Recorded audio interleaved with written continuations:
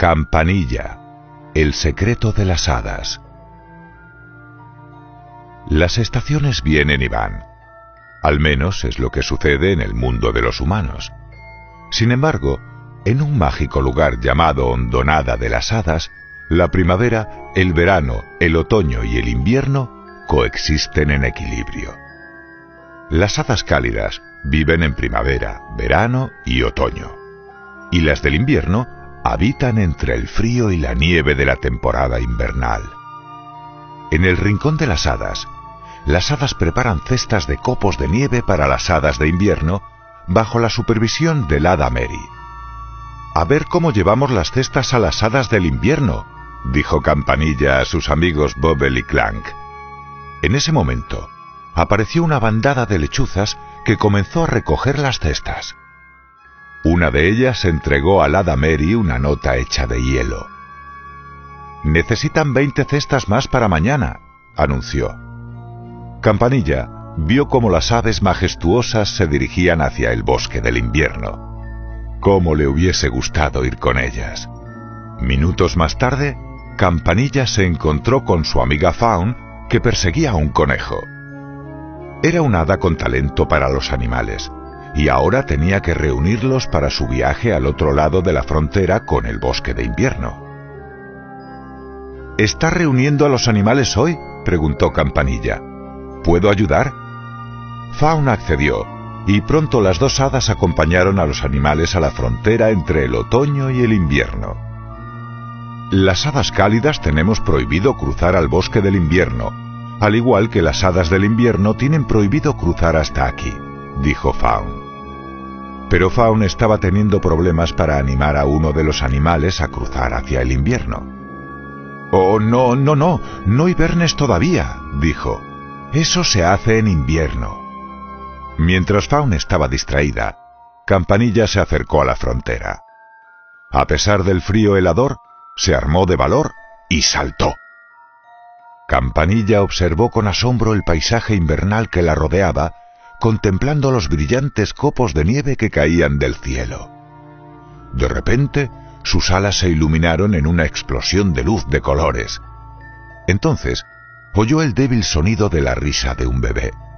En ese instante, Faun capturó con un lazo a Campanilla y tiró de ella hacia el otoño. Te dije que está prohibido cruzar, dijo Faun. Tienes las alas muy frías.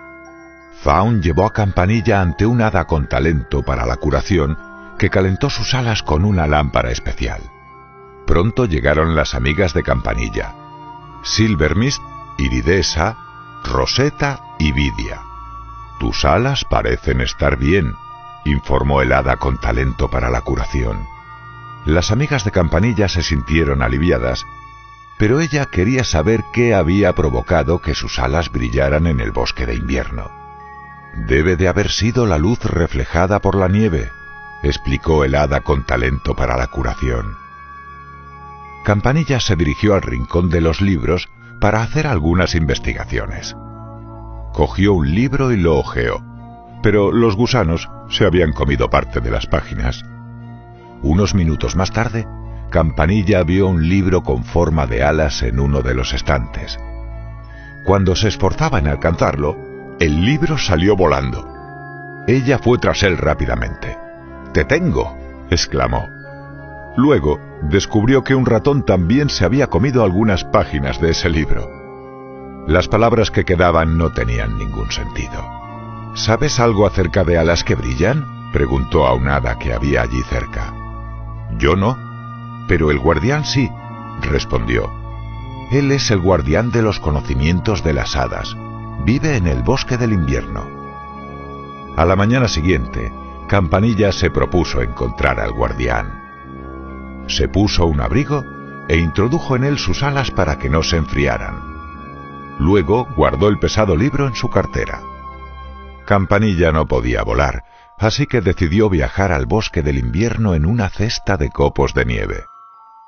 Una lechuza se abalanzó sobre la cesta de Campanilla y la agarró. En un primer momento la lechuza se tambaleó. Finalmente se elevó al cielo y se alejó volando. Surcando el aire, Campanilla sintió una ráfaga de viento gélido mientras la lechuza cruzaba hacia el invierno. Rápidamente alcanzó a su bandada. Campanilla divisó un magnífico valle invernal que se extendía ante ella. ¡Wow! se maravilló Campanilla. ¡Lo logré!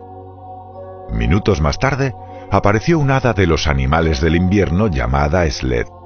¿Estás lista para la caída libre? preguntó a la lechuza. Campanilla se agachó rápidamente. La lechuza ululó nerviosa, bajó en picado y soltó la cesta. ¡Cuidado! gritaron las hadas del invierno que estaban abajo. Campanilla intentaba ponerse de pie cuando oyó a un hada saludando a alguien. Era Lord Milori, el señor del invierno. Mientras un hada le presentaba los nuevos diseños de copos, Campanilla trataba de alcanzar su libro. Pero el libro se deslizó por el hielo y aterrizó bajo la bota de Lord Milori. Es extraño, comentó recogiendo el libro y dándoselo a Sled. Devuélveselo al guardián, lo enviará de vuelta al lado cálido con su próximo reparto. Mientras Sled se dirigía a ver al guardián, Campanilla, en secreto, corrió detrás de él hasta el salón del invierno. Esperó hasta que dejó el libro y luego se adentró en la sala helada. Un lince blanco llamado Fiona la miró adormilado y la saludó con un bostezo. Cuando Campanilla entró en la sala, vio al guardián sentado frente a un caballete. También descubrió la sombra de un hada, cuyas alas brillaban. De repente, las alas de Campanilla también empezaron a brillar. Campanilla y el hada del invierno Periwinkle volaron sorprendidas una alrededor de la otra. No sabían lo que estaba sucediendo. Dewey, el guardián, no podía creer lo que estaba viendo. En todos mis años, se sorprendió. ¡Seguidme! Dewey las guió hasta un copo de nieve gigante. Este se iluminó y cuando Campanilla y Periwinkle pusieron sus alas en una cinta de luz, la estancia se llenó de imágenes.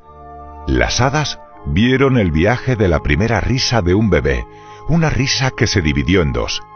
Una mitad viajó al árbol de polvo de hadas en el lado cálido y nació Campanilla.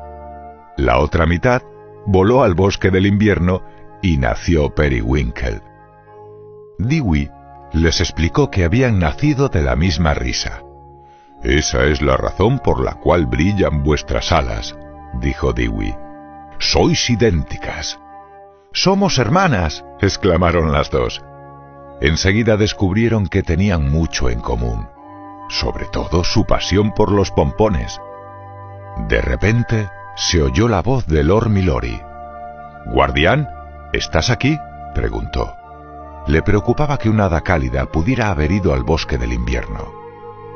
Está prohibido cruzar la frontera. Si una hada cálida viene aquí, envíala de vuelta, le recordó Lord Milori. Por supuesto, contestó Dewey. Periwinkle mostró a Campanilla el bosque del invierno. Después, se fueron al bosque helado, donde Campanilla conoció a sus amigas Gliss y Spike.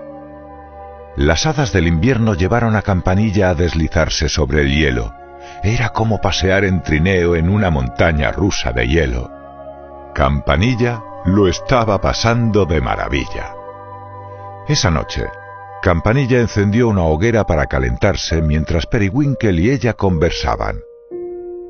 Le habló de las estaciones cálidas de la hondonada de las hadas. Periwinkle deseaba ir allí. He conseguido que haga más calor aquí, Tal vez pueda conseguir que haga más frío allí, exclamó Campanilla. De repente el suelo de nieve donde se asentaba la casa de Periwinkle se derrumbó. Se estaba derritiendo con el fuego. En ese momento, Fiona corrió hacia ellas y las puso a salvo. Las hadas se dirigieron a la frontera y se dieron un abrazo de despedida. Bueno, este es el plan. Nos vemos aquí mañana. Tengo que darte algo, le susurró Campanilla. Periwinkle accedió.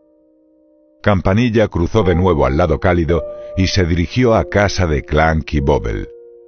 Cuando llegó, fue capturada por su último invento, una trampa para troles. Necesito vuestra ayuda, dijo Campanilla. Es un secreto.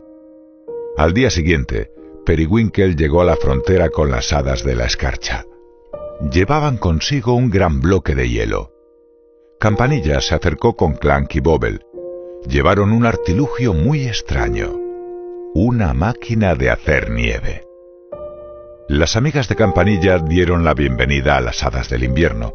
Deseaban mostrar su mundo a Periwinkle. Si le decimos a la reina Clarion que somos hermanas, ella cambiará la regla del Ormilori, dijo Campanilla esperanzada. El ciclo de las estaciones cálidas pronto se puso en marcha. Las hadas cálidas sorprendieron a Periwinkle con un arco iris y un campo lleno de flores. Por fin, llegó el momento de que Periwinkle conociera al resto de las amigas de Campanilla. Oídme todas. Esta es Periwinkle, mi hermana, anunció Campanilla. Unos momentos más tarde, Periwinkle se sintió muy débil. Sus alas se marchitaban. Clank y Bobble se dieron cuenta de que la máquina de hacer nieve se estaba quedando sin hielo.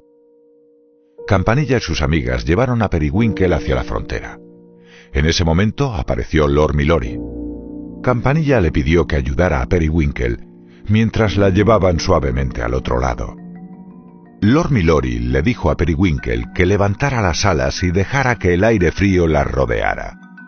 Pronto sus alas habían vuelto a la normalidad. Ese es el motivo por el cual nosotros no cruzamos la frontera, dijo Lord Milori. Vosotras dos no podéis volver a veros. Tu regla no nos separará, gritó Campanilla. Esta no es la regla de Lord Milori, dijo la reina Clarion, la reina de la hondonada de las hadas. Es la mía, lo siento. Campanilla y Periwinkle se dieron un último abrazo antes de tomar caminos distintos. Minutos más tarde, Lord Milori echó a volar sobre su lechuza y dio vueltas alrededor del puente. De repente, la lechuza golpeó la máquina y la tiró al río, pero se quedó atascada en un saliente. El hielo comenzó a crear una pequeña tormenta de nieve. Mientras tanto, Campanilla había regresado al lado cálido de la hondonada de las hadas y Periwinkle estaba en el bosque del invierno. La reina Clarion y Lord Milori les explicaron que hacía mucho tiempo dos hadas se enamoraron. Una de ellas era de las estaciones cálidas mientras que la otra era del invierno. Todos los días la pareja se reunía en la frontera donde la primavera roza el invierno. Una de las hadas cruzó y se rompió un ala. Después de eso, la reina Clarion creó la regla que prohíbe a las hadas cruzar. Mientras Campanilla escuchaba el triste relato, miró por la ventana. Estaba nevando. La reina Clarion y Campanilla salieron fuera donde los ministros de la primavera, el verano y el otoño descendieron de inmediato junto a ellas. Mantengamos la calma, dijo la reina Clarion mientras se dirigía hacia una nube de nieve. La reina y el resto de las hadas se detuvieron a la orilla del río. Clank y Bobble estaban intentando desesperadamente liberar la máquina de hacer nieve. Se ha roto el equilibrio de las estaciones, anunció solemnemente la reina Clarion una helada se dirigía a la parte cálida de la hondonada de las hadas, así que se pusieron en marcha. Mientras algunas hadas se encargaban de cubrir el árbol de polvo de hadas con musgo, otras ayudaban a los animales a refugiarse. Campanilla se sorprendió al ver que se derretía la escarcha que aprisionaba la flor de Periwinkle. Estaba floreciendo. Eso le dio una idea. Decidió ir al bosque del invierno para pedir ayuda a Periwinkle pero mientras volaba a través del invierno, sus alas se congelaron y cayó al suelo. Periwinkle y sus amigas se apresuraron a ayudarla. Campanilla les mostró la flor de Periwinkle. Gliss explicó que la escarcha guarda el calor en su interior como una manta. Así, Periwinkle y sus amigas comenzaron a cubrir de escarcha el árbol, pero era tan grande que no les resultaba fácil hacerlo. Entonces llegó Lord Milori en compañía de Dewey y de todas las hadas del invierno dispuestos a ayudar. Después de que se refugiaran las hadas cálidas, Lord Milori envolvió con sus capas a una temblorosa reina Clarion. Ella miró a los ojos a Lord Milori. Todavía le rompía el corazón ver su ala dañada y recordar su amor perdido hacía ya mucho tiempo. Pasado algún tiempo, los rayos de sol comenzaron a brillar.